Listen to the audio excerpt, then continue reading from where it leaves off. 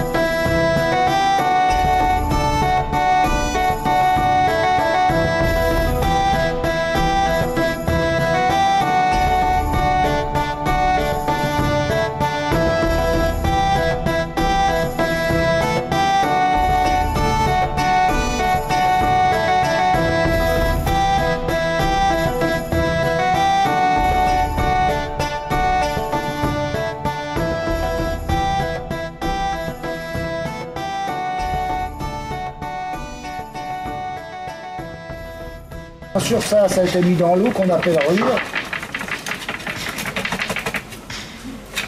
Après, on les a fait sécher.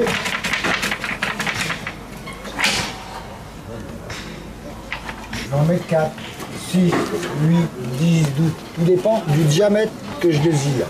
D'accord? Si je veux faire une corde beaucoup plus longue ou plus courte, eh ben, mes chariots, ils ont des roues. Il suffit que j'avance ou que je recule mon chariot. D'accord?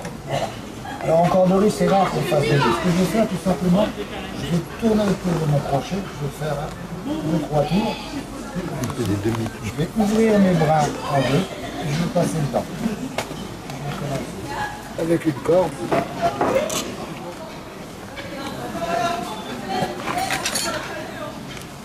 bien d'accord que sur chaque crochet, j'ai bien quatre bras.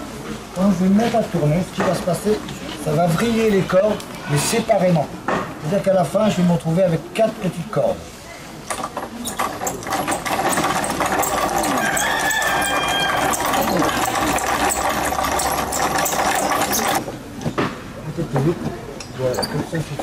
Et à partir de maintenant, la corde est en train de se réaliser.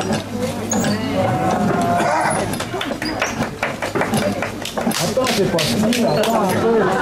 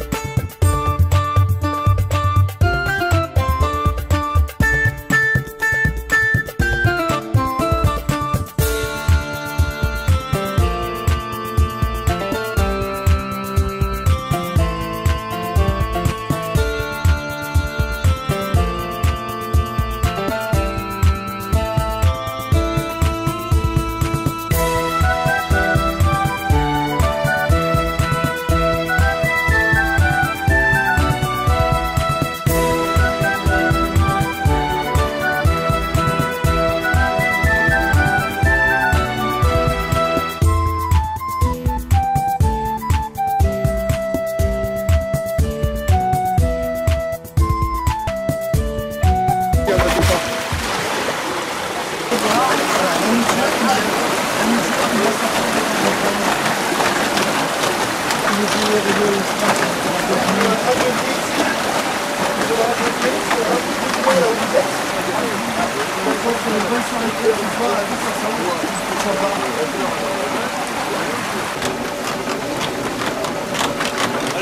là, qu'est-ce qui se passe à ce moment-là quand les meules sont en train de tourner comment le, comment le grain en fait ressort en bouture tout ça